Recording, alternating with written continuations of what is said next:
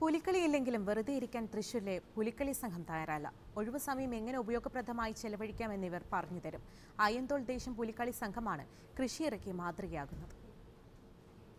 നാട്ടിൽ പുലികൾ ഇറങ്ങിയാൽ എന്തു ചെയ്യും? തൃശൂരിലെ പുലികൾ പറമ്പിലിറങ്ങി ചെടികൾക്ക് വെള്ളം ഒഴിക്കും. അവ കൃത്യമായി വളരുന്നുണ്ടോ എന്ന് പരിശോധിക്കും. രണ്ടു വർഷം മുൻപാണ് നോക്കി നടത്താൻ ആളില്ലാതെ കിടന്നിരുന്ന ഒഴിഞ്ഞ പറമ്പുകൾ അയ്യന്തോൾ പുലിക്കളി സംഘം കാർഷിക കൂട്ടായ്മയുടെ നേതൃത്വത്തിൽ ഏറ്റെടുത്തത്.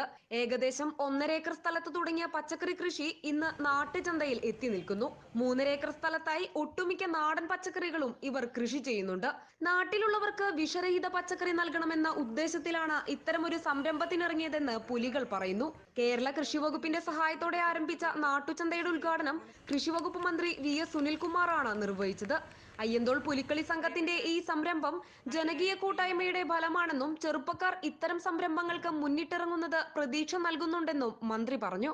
അതിൽ അയ്യന്തോള പുലിക്കളി സംഘം എന്ന് പറയുന്നത് പുലിക്കളി മാത്രമല്ല എല്ലാ വിഭാഗം ആൾക്കാരും കൂടി ചേരുന്ന ഒരു ജനകീയ സംഘം കൂടിയാണ്. അപ്പോൾ അവരുടെ നേതൃത്വത്തിൽ ഈ പുതൂർക്കര മേഖലയിൽ അറുപത് സെന്റും പത്ത് സെന്റും പതിനഞ്ച് ഒക്കെ വീടുകളുടെ ബാക്കിലുള്ള ഒരുപാട് സ്ഥലങ്ങളുണ്ട്.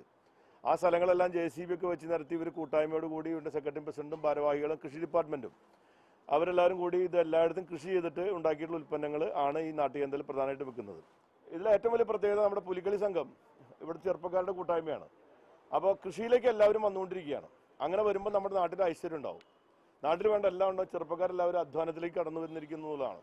ആദ്യ ഉദ്യമം വിജയിച്ചതോടെ ഒഴിഞ്ഞുകിടക്കുന്ന കൂടുതൽ സ്ഥലങ്ങൾ ഏറ്റെടുത്ത് കൃഷി വിപുലപ്പെടുത്താനുള്ള ആലോചനയിലാണ് പുലിക്കളി സംഘം. റിപ്പോർട്ടർ തൃശൂർ.